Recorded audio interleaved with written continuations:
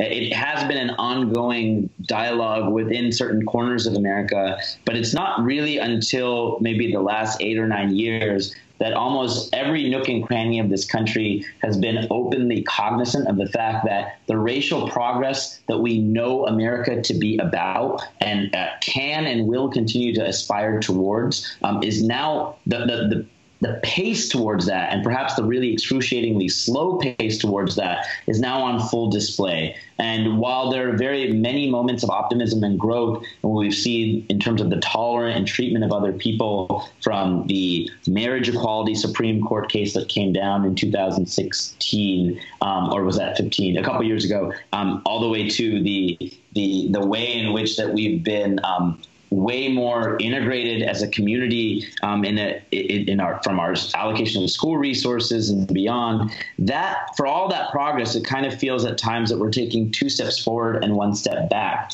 In particular, you've seen um, a rise in hate crimes against the Jewish community. I believe the Anti Defamation League. Um, I, am going to fumble the statistics, so I'll refrain from quoting an exact number. But since you know the beginning of this year, has seen an increasing uh, tide of, of violence against local mosques and um, uh, Jewish community centers. Uh, just you know, notoriously, a few months ago, there were two Indian gentlemen, sorry, South Asian of Indian descent gentlemen, who were in a bar in Kansas, I believe, who were targeted, um, yelled at, and got into a violent skirmish um, with another bar goer um, who happened to be of a different ethnic background, calling them out for not being American enough. Um, and so I think that, and then of course you have this the more recent events of Charlottesville, um, in which our own president of the United States morally equivalated speaking out against racism with the ability to condone hate speech. And so what this is really doing is creating something we're always aware of, but you have more and more individuals across the United States